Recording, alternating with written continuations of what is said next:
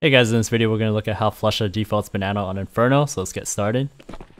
So typically at the start of the round, Flusha, he's going to throw a Molotov at this half wall position, right at the start, to prevent anybody from peeking early at the half wall area. And then if he doesn't meet any resistance, he'll normally just throw a nade towards this corner area, and sometimes he'll follow it up with a flash as well. So if you have a teammate, here's how you can add to the default. So first, Flusha is going to throw a Molotov towards that half wall area, and then he's going to throw a nade at the corner. Now with your second teammate, he can throw a Molotov towards the corner, which then pushes this player who could be here back towards the site, and allows you to isolate the player who could be playing towards the sandbag area. So now at this point, you can peek this player towards sandbag without having to worry about somebody peeking from this left corner. So here we see the power of using two people at Banana. So first we're going to see that Golden, he's the first spawn. He's going to throw a Molotov at the half wall position. Flusha, he's going to throw a nade at the half wall. So even if somebody decides to peek the half wall, he's definitely going to take damage. Then Flusha is going to line up a flash along this left side, while Golden scales up along the right. He doesn't need to turn from this flash. Golden, he's also going to throw a nade towards this corner. However, this nade slightly misses, but you get the idea. Then as the flash pops, you can see that Golden swings out a little bit wide to try to catch this player who may be playing towards this sandbag corner area. Golden gets the kill, and at the same time, Flusha also throws a Molotov right at the corner right here. So when that kill happens, you can see that because of that Molotov, this player, he's not able to come back and be able to trade. That's really the power of this tactic here, where you're trying to push this player who could be at the corner away towards the site, so that way you can get an isolated fight on the player's sandbag. So here's a fast push you can do with the MAC-10. So first we're going to see that Flusha, he's going to throw a flash for the corner position. He has a teammate as well, and his teammate's going to throw a Molotov for that car half wall position, and he's also going to line up a flash along this left side. Basically, Flusha is going to be scaling up along this right side as quickly as he possibly can. So here we're going to see that he throws a couple flashes. Here we see a Molotov, and this is his teammate's Molotov. And because it's his teammate's Molotov, he can actually push right through it, taking reduced damage. So here we're going to see him push right through the Molotov and to get this kill on the player's sandbag. So this is a really good play that you can use, where basically you take advantage of your teammate's Molotov and you push straight through it, as the CTs aren't going to be expecting you to do so. So sometimes your is going to want to go for a B pick, and your number one job is to make sure that he stays alive. So here we're going to see that Flusha, he throws early Molotov towards car, JW goes for the corner pick, and Flusha, all he's going to do here is just make sure he has a smoke out for the CT's Molotov. So here we're going to see that JW, as soon as he gets that kill, Flusha throws the smoke to allow JW to escape. So sometimes you may want to use a slower approach towards Banana, and this is a good flash you can use towards this half wall position, and basically it'll blind any operator who's posted up in this area towards this logs position. So here we're going to see that the operator gets forced away, and after that you can also throw that Molotov towards the corner, where he's basically going to be pushed away towards the site, and now you can have an isolated fight onto the player's sandbag if you want to. So here's a way to deal with that player who might be jump spotting towards this half wall position. So here we see Crystal, he's basically jump spotting. And Flusha, he basically decides to just throw a nade at this half wall position and look at how much damage it does though. It basically does 95 damage. This also acts as a trigger point for them to throw their molotovs towards this car position and take towards Banana. So what do you do when the CTs do full Banana control on you? So right here we're going to see that JW is going to go for a B pick. Flusha's going to notice the deep smoke from the CTs and as well as going to see this first Molotov. His response is basically throw a Molotov back to kind of push these CTs away. And here he notices a second Molotov, so now he knows for sure this is going to be B control, so he starts falling back. JW starts falling back towards the cubby as well. And JW, all he needs to do is just stay alive in this position. Because what's going to happen here is that Flusha and Golden, they're both going to throw utility back to push the CT away from being able to peek the bottom banana. So as soon as that happens, now these CTs, they're forced to kind of go all the way back towards the site. JW, he's still playing in front of the smoke, and because of that, the CTs are not able to fully clear this out. And now at this point, both Flush and Golden can retake this banana position. Here's another example of countering B control. So once again, the CTs, they throw a deep smoke banana. Golden, he actually decides to go inside the smoke here to extinguish this first fire. Then Flusha, he has a Molotov ready, and he's waiting for a particular timing here to throw this Molotov.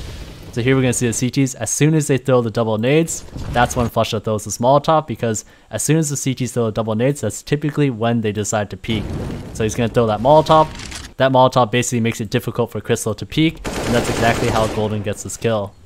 And after that happens, you can see that Flusha throws one more flash in front of him to be able to retake towards this banana position. So here we'll see this from Crystal's point of view, so he's going to throw that deep smoke, the close Molotov, and then he's going to throw a nade towards logs. Then we're going to see that that timing of when those nades come through is exactly when Flusha throws the Molotov towards half wall. And basically right at this point here, Crystal needs to make a decision of whether he wants to push forward or whether he wants to fall back. And because this Molotov forces him to push forward, it basically puts Golden in a better position to be able to kill him.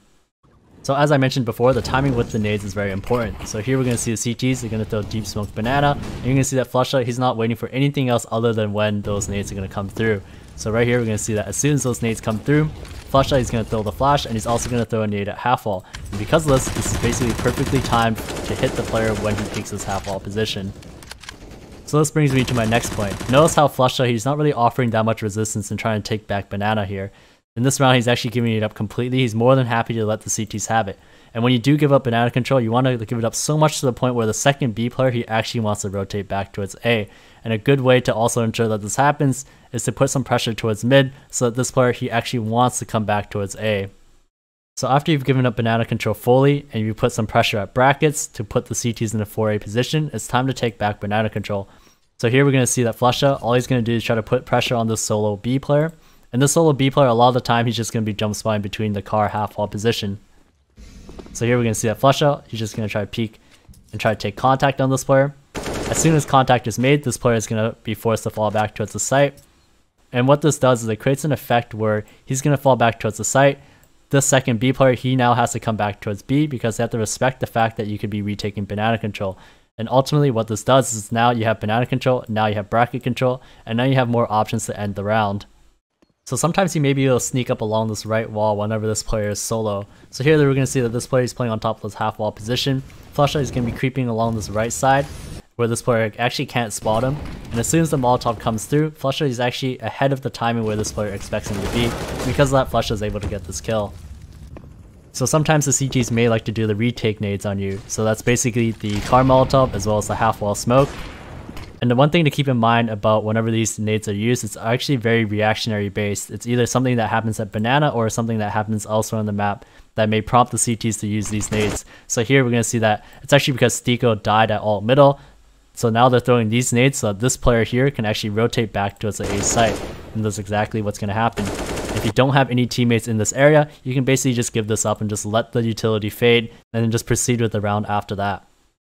So here we see a situation where Golden's actually ahead of flusha, and the CTs are going to throw the retake banana nades. And usually because these nades are thrown by one person, here's two different counters you can use. So the first counter is that flusha, he's just simply just going to throw a smoke ahead of him, so that it basically blocks the entrance and discourages the CT from running to push up. And the second counter is that basically just push up on the player as he's throwing the nades. So here we see Golden, he basically pushes up on him towards the site to get the kill. So if you're towards this half wall position, this is a great nade to throw for the coffin player. So typically when Fnatic like to go towards B, it's usually flusha who's going to enter the site as he doesn't really have any utility at this point. And it makes sense because he's usually using his utility to take banana control in the first place, so he doesn't have any utility left over. This is the most common flash that Fnatic like to throw on their B hits, so here we're going to see that JW, he's simply going to throw this flash to allow flusha to be able to push into the site. So here's a nice little trick you can use. So the CT is just throwing a smoke, and flusha is going to get really close to the smoke, but he also has a teammate, JW, who's about to throw this flash room towards the site that I showed earlier. So basically, flusha is going to right click a flash, make sure that it makes a ton of noise onto the ground. Then JW at the same time, he throws his flash, and that's exactly how he gets this kill. From Hampus's point of view, because he hears flusha's flash bounce off the ground, he's only going to dodge that flash and not JW's. So here's an explosive way to entry towards the site. So here JW, he's just going to throw a flash, and flush at the same time is going to throw this flash here, it's going to bounce off the wall and land towards the site, which allows flusha to actually beat the Molotov and cross towards this water area. So from Alex's point of view, you can see how explosive this take is. So as soon as the flash comes over, flusha has already rounded the corner. He basically beats his Molotov and actually beats him towards this water position. And because of that, Alex isn't expecting him to already be behind him. So here we're going to see a variation on that tactic. So once again, JW, he's going to line up that flash towards site. And then Golden, he's actually going to be the second one in. And notice the slight coordination they have here. So Golden, he's actually going to have the smoke out so that flusha can have his gun out on the entry. So the flash comes through. flusha's able to come in first. Golden's able to throw that smoke towards CT, and they both path themselves along this right side wall where they're going to cross the smoke underneath so that the player boost can't actually spot them. And because that flusha is able to cross towards water, he's able to get this first kill, and he's able to find this player towards that new box area. So there's some good utility to know if you're rushing towards B. So this smoke here is going to land towards CT spawn. And then this Molotov here is actually going to land towards Spool. And that's going to be it. Thank you guys so much for watching. If you guys like what you saw, please like, subscribe, hit the notification bell for more future content. Thanks again. I'll see you guys in the next one.